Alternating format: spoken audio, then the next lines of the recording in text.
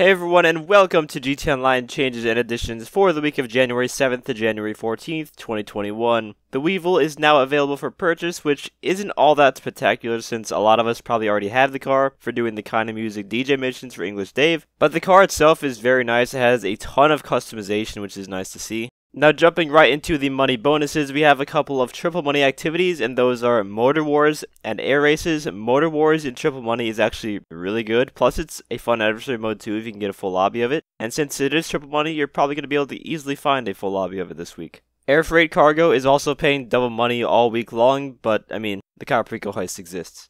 The podium vehicle is the Paragon R. It's a decent car. I actually really like the look and sound of it. I highly recommend unlocking the armored one by doing the casino missions if you find that you like the regular one a lot as well.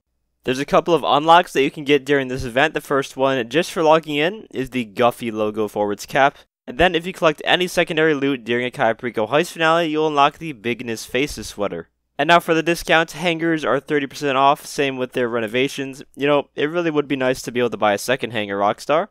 The Coil Cyclone is 40% off, same with the Vision, the Havoc, and the Valkyrie. And at 25% off, we have some really great vehicles here. The Alkonost and the Stealth Annihilator, just two amazing vehicles from the Cayo Perico Heist update. I mean, I cannot believe they would be discounted already. Yes, this is sarcasm. Don't buy them. And for Twitch Prime bonuses, the Kurtz Patrol Boats and the Longfin are both 35% off.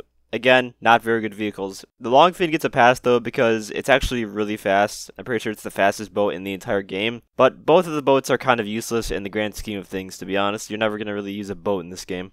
But that's going to do it for this event weekend video. Let me know what you guys think of it in the comment section. And if you enjoyed the video or found it helpful, feel free to leave a like as well as subscribe to my channel for more guide and PvP related content. Huge thank you to my channel members for support. If you'd like to become a member for some exclusive perks, you can either use the join button or the link that's down in the description. And as always, thanks for watching and have a great day.